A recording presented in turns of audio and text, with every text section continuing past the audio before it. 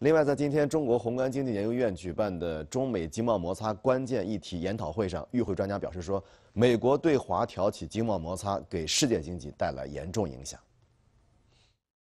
专家表示，美国挑起经贸摩擦一年多来，严重扰乱了国际经贸秩序，破坏了全球产业链、供应链、价值链，严重阻碍了世界经济的增长。那美国阻挡经济全球化的行为损人不不利己啊。一意孤行下去，注定是一个多输的局面。乱打贸易战啊，将导致全球经贸持续紊乱和全球经济下行。近期，国际货币基金组织啊做的测算认为，中美贸易战呢，短期内呢会使世界经济增速啊下降零点三个百分点。专家认为，在经济全球化深入发展的今天，资源全球配置、产业链深度互嵌早已成为一种趋势，这也是国际贸易体系高效运行的基石。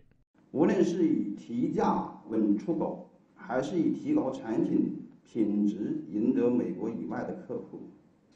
都必须提升出口产品的市场竞争力和价值链的维持，